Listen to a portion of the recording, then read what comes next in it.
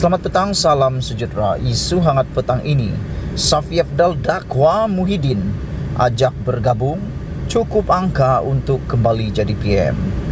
Berita sepenuhnya, Datuk Sri Muhammad Safi Afdal mendakwa Tan Sri Muhyiddin Yassin telah menghubunginya dua bulan lalu untuk mendapatkan sokongannya untuk menjadi Perdana Menteri semula. Presiden Parti Warisan Malaysia Warisan itu berkata Muhyiddin memaklumkan bahawa beliau mendapat sokongan 119 ahli parlimen di Dewan Rakyat yang mempunyai 222 anggota.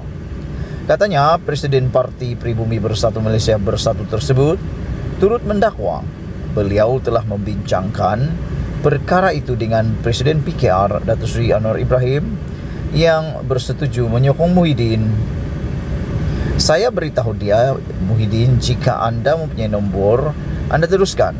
Saya tidak akan mengikut anda, katanya. Muhammad Safi berkata demikian ketika berucap, sempurna majlis bersama rakyat disandakan pada had. Dalam pada itu, dalam sidang media, beliau menegaskan bahawa gabungan parti politik yang ada ketika ini hanya untuk memuaskan nafsu pemimpin.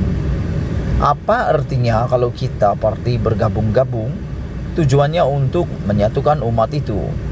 Bukan menyatukan umat, itu menyatukan nafsu pemimpin-pemimpin itu.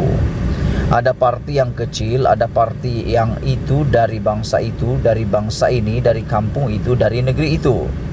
Semata-mata digabungkan untuk mencukupkan jumlah mereka memerintah kononnya, tapi kita sedar dan tahu ini merupakan hanya landasan untuk kepentingan mereka katanya lagi.